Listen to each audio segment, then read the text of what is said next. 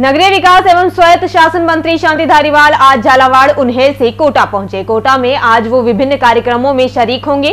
Civil lines आवास पर आज अभिभाषक परिषद कोटा की नवनिर्वाचित कार्यकारिणी के पदाधिकारियों ने पहुंचकर यूडीएच मंत्री शांति धारीवाल से मुलाकात की। मंत्री शांति धारीवाल ने कार्यकारिणी के सदस्यों को शुभकामनाएँ दी। साथ ही अभिभाषक परिषद द्वारा यूडीएच मंत्री शांति धारीवाल को नए भवन एवं अभिभाषक परिषद कॉलोनी के कार्य हेतु अवगत करवाया। अभिभाषक परिषद की मांग पर यूडीएच मंत्री शांति धारीवाल ने उनको आश्वस्त किया। वहीं नर्सिंग कर्मियों के प्रतिनिधिमंडल ने भी यूडीएच मंत्री शांति धारीवाल से मुलाकात कर अपना मांग पत्र सौंपा।